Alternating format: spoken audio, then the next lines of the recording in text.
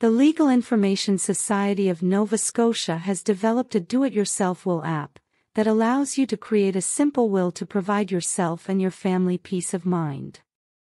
Before you jump in, let's talk about residues. Residue is what remains of your estate after funeral expenses, debts, taxes, and specific gifts have been settled. The decisions you make about your residue are crucial. Let's explore different scenarios. First, let's consider the scenario where you have a spouse or a person you plan to marry, and you have children.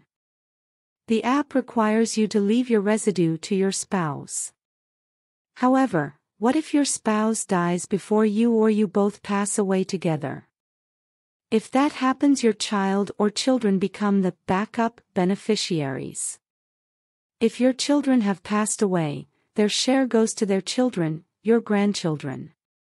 If there are no grandchildren, the share is divided among your surviving children. Now, let's move to the scenario where you have a spouse or a person you plan to marry, but no children. In this case, the app requires you to leave your residue to your spouse. If your spouse or the person you plan to marry dies before you or you die together, your backup beneficiaries, up to 10 people you choose, will receive the residue. You can specify the percentage each person receives. If any of your chosen beneficiaries pass away, their share can either go to their children or be divided among your other beneficiaries, based on your preference.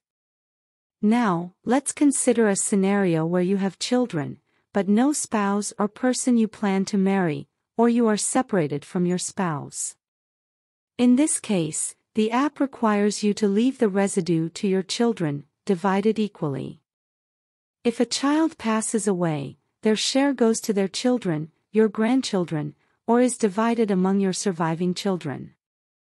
Lastly, if you don't have children or a spouse, or you are separated from your spouse, you can divide your residue among up to 10 chosen beneficiaries, specifying the percentage for each person.